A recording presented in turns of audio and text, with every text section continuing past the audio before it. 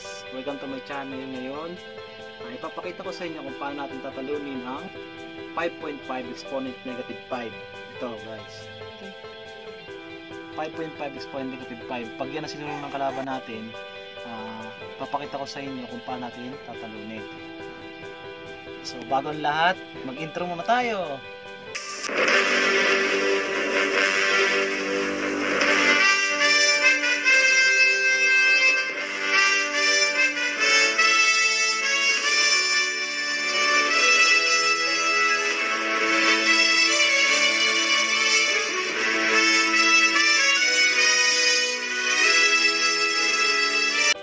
So guys, pag tinira niya itong 5.5 exponent negative 5, ang pang-counter natin is, gagayahin lang natin yung sulong niya. 5.5 exponent negative 5 din ang isulong natin. So, tingnan nyo guys, pag pinakain niya yung 7.7 exponent negative 7, kain tayo. Pag dito siya kumain guys, talo na siya. Bakit? So, tingnan mo, dadama na siya guys. So, diba? Dadaman na siya. Sulong mo lang to. So, pag pinakain niya to, dalawa ka. 1, 2. So, kakain din siya. Talo na siya, guys. Oh. Ito muna.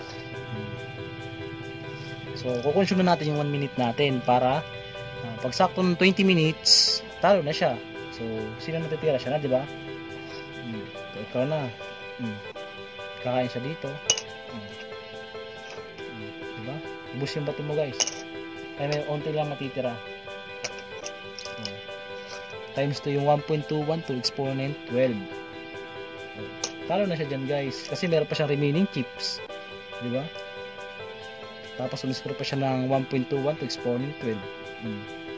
yan consume na lang yung 1 minute mo. Hmm. hanggang maubos yung bato mo. Hmm. di ba? Wala na yan. Talo na siya dyan guys.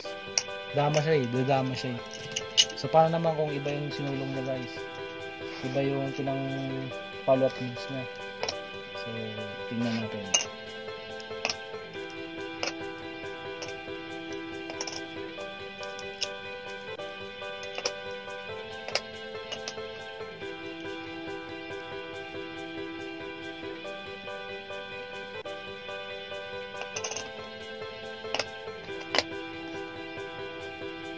Ito guys. Ito di ba nagpakain siya tapos dumama siya. Paano hindi siya magpakain guys? Ito lang sinulong niya. Iniwas niya yung 7.7 exponent negative 7 so kapakain natin itong 7.7 exponent negative 7 sa 5.5 exponent negative 5 ganun ulit yung result niya guys. 1 2 dama ulit siya guys. So, 1 2 diba? So ayan. Consume ulit ng 1 minute guys. Every move mo dapat mag-consume ka ng 1 minute para hindi na siya makahabol sa late game diba? ganun ulit hmm. press ko rin natin siya ng malaki dito ayan exponent 12 times 2 hmm. ganun ulit nangyari guys. Hmm. Hmm. talo na siya guys laki ng score niya paano kung iba ulit yung sinulong niya guys?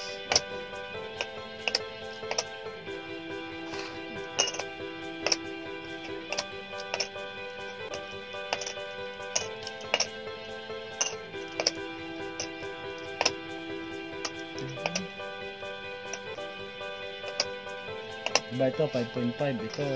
Kanina ito talo siya. Ito talo siya. Paano kung ito lang? Gaya mo lang guys gayahin lang natin siya. Hmm. pag nagpakain ulit siya ganun ulit makakalabasan yan. Pag dito siya kumain dadama na naman siya. Pag dito siya kumain dama ulit. Tingnan mo. Ganun ulit. Dadama ulit siya. Diba? Ganun lang.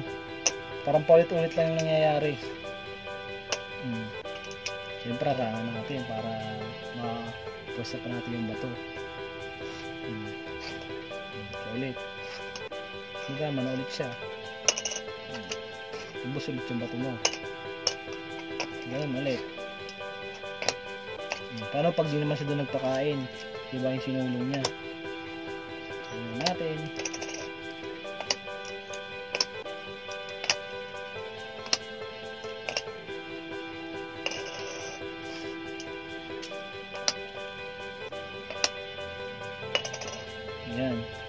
Diba, ito sinulong niya, counter natin ito.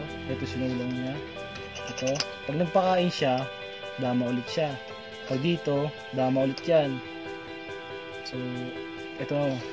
Pag yun, gayahin mo lang ulit. Ayan. Guys, pag ito yung sinulong na niya, papakayan natin itong 5.5 score negative 5. Score siya na 1.01, ito is 0.10. Dito, score din siya. So, lugi sa sulong din guys. Tingnan nyo.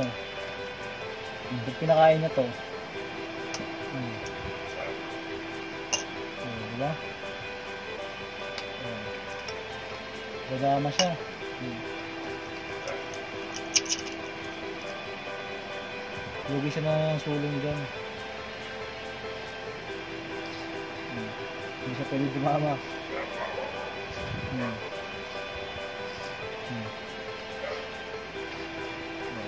One, two, three. Mo, wala pa yung 1.2, 1 to na. Hmm. So guys, paano kung pinakain naman niya yun dito? Kanina, tingnan natin ha. Pinakain niya yung batid na doon.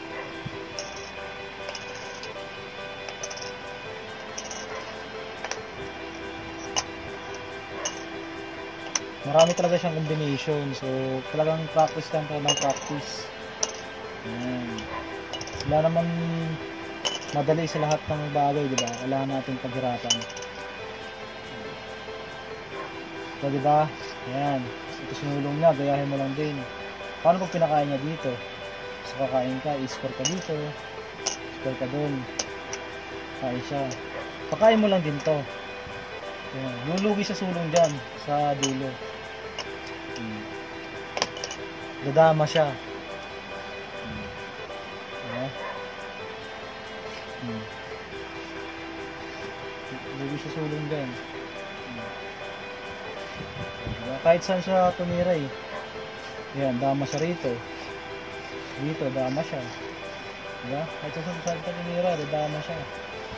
Wala siyang ibang sulong, di ba? corner siya lagi. Diba? Talo na siya. Yun guys.